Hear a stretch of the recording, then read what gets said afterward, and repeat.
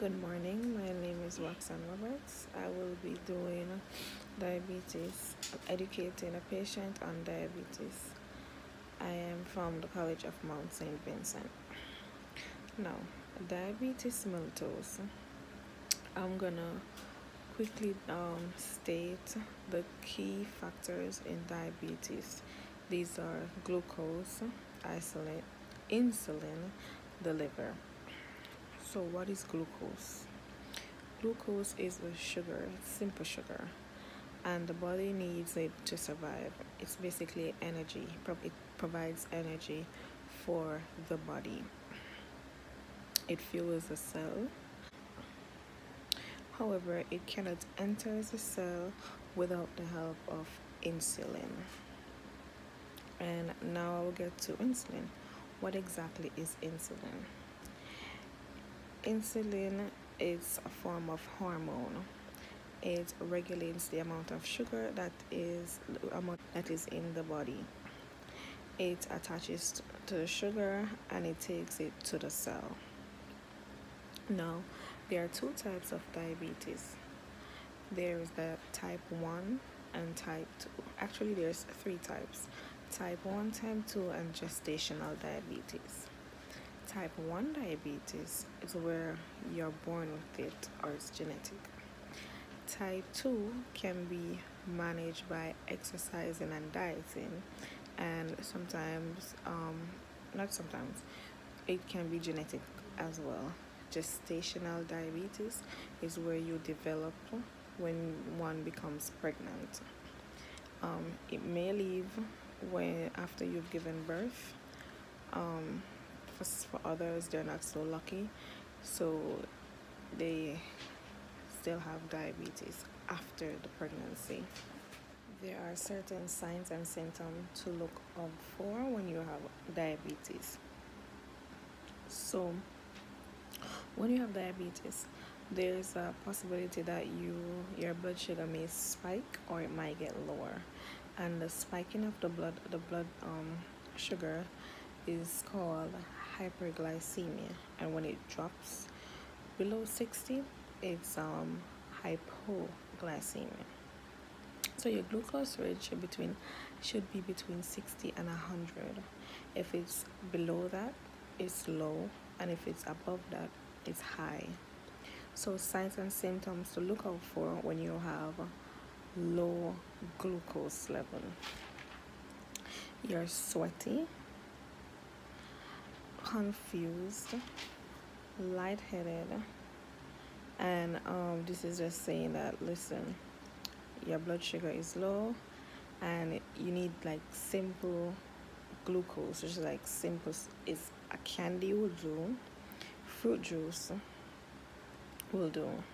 This is just to get the blood sugar to rise. What it what the glucose does is um, it sticks to the proteins of the vessel, it becomes hard, and it forms plaque.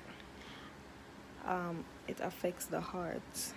The blood flow is going to get narrow and cause um, stroke. You can get neuropathy or hypertension. Normally, when um, a patient has um, diabetes, they tend to have um, high blood pressure. So if uh, in a diabetic patient, they tend to look out for two things. Um, issues with their blood pressure, it might be high or low, or issues with, of course, their diabetes level, their sugar level, because they go hand in hand. They, when you have um, diabetes patients, they tend to have wound healing problem some sometimes because sometimes they're not aware of the fact that they even get like a cut a cut. So they don't realize that they have a wound and this why this is why you often tell diabetic patients to wear shoes in the house. Because they're not aware of the fact that they get like a cut they have a wound and they have a slow wound healing process. This is because the blood is not flowing um, properly and therefore they it doesn't have enough oxygen to reach to the wound area to heal it properly. Like i said the glucose it sticks to the vessels and it makes it hard. And so the flow of blood is is hard to go to the to the wounds to heal it. For our type 1 patients um, these are mostly young kids because they were born with it. Um, it happen tend to have like diabetes ketoacidosis. Um, they become very thirsty. They have high blood sugar. And they tend to burn more ketones because in type 1 they are not producing any insulin. Unlike type 2 which they are producing insulin but it's not being used type 1 they don't produce any insulin. So if they don't take their medication which is the insulin what the body does is it goes to the fat and it burns the fat and then they will have diabetes ketoacidosis. Um, they will have fruity breath. This is when their diabetes um, has elevated their sugar level I'm sorry has elevated.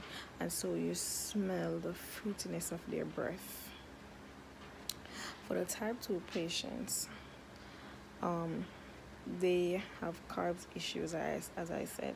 They dehydrate more. They also become confused. There are three P's that's associated with hyperglycemia and this is having high um, blood a high glucose level.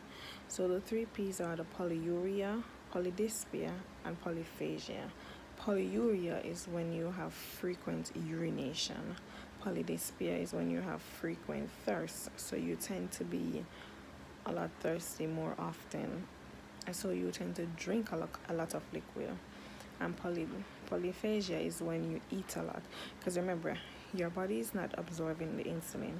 And so your body is telling telling you that listen I need energy. I need energy. And in order to do so you have to eat and then while you're eating you're drinking as well because you become very thirsty.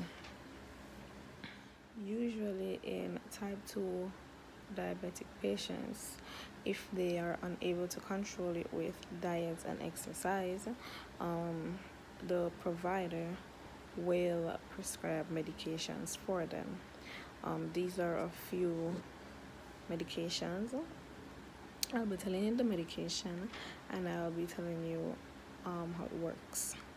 So there is so the drug is sulfonylureas it has glyburide glipizide um, amaryl the genetic these genetic names normally end um, in IDES or ZIDES MIDES or RIDES.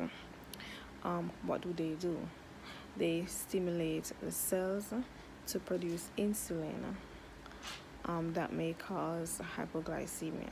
So when your your um, sugar increases, it stimulates the cell. Um, once you take this, it stimulates the cell, and then it lowers your blood sugar. Um, what you need to know, you should not be drinking any alcohol. So absolutely no alcohol consumption because it may cause extreme um, low blood sugar level. The other drugs is um, there's also metformin.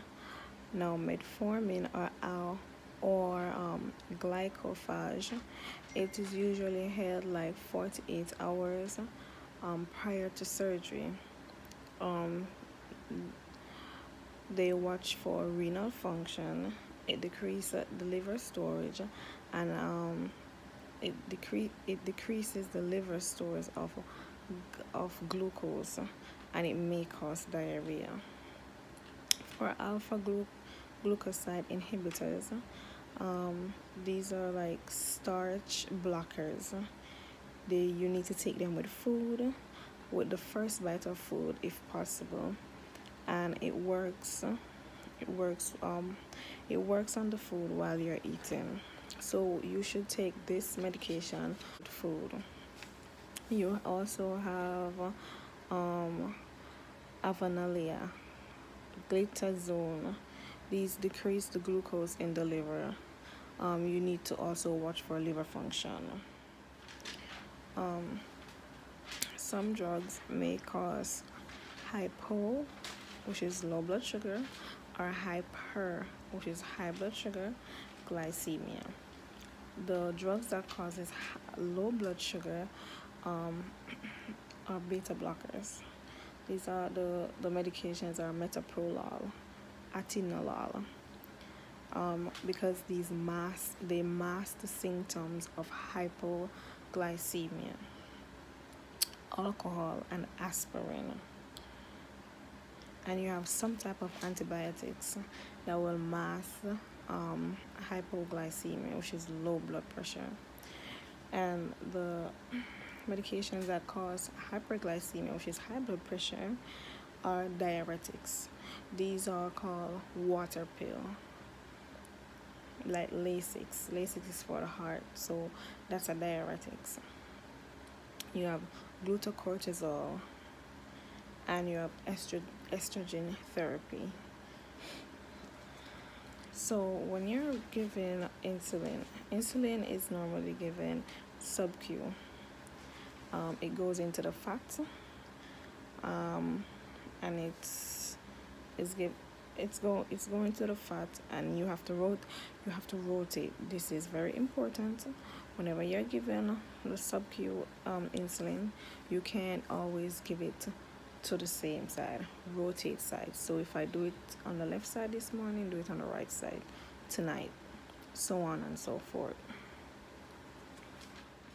you can also mix insulin to give um, patients. There are two types. You have clear and you have cloudy. Um, the clear represents regular insulin and cloudy is um, for NPH. There are certain effects that happens to diabetic patient and this is the dawn phenomenon. It happens during working hours. Patients become hyperglycemic. So um, their blood their blood sugar increases. Um, why does this happen? Why does their blood sugar increases? This happen in preparation of them waking up so the body shoots um, extra glucose and it usually happens between the hours of 5 a.m. and 8 a.m. Um, they can't handle the extra glucose because of the issue with their insulin. It's either they don't produce insulin for type 1 and type 2 they their body is not able to use the insulin even though it's producing it.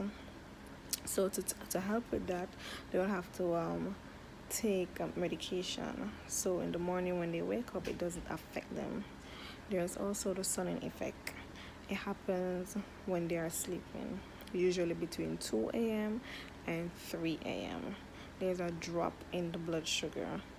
So the body so the body fix it and it release it releases it um, in between that time.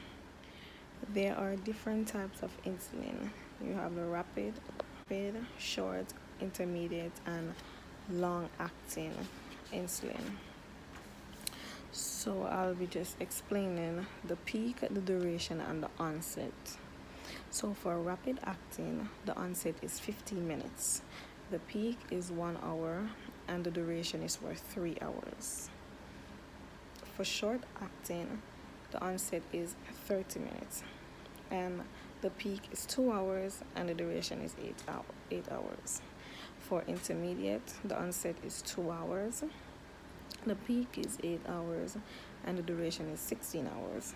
And for long acting, um, the onset is so for long acting, the onset is 2 hours. There's no peak and the duration is 24 hours.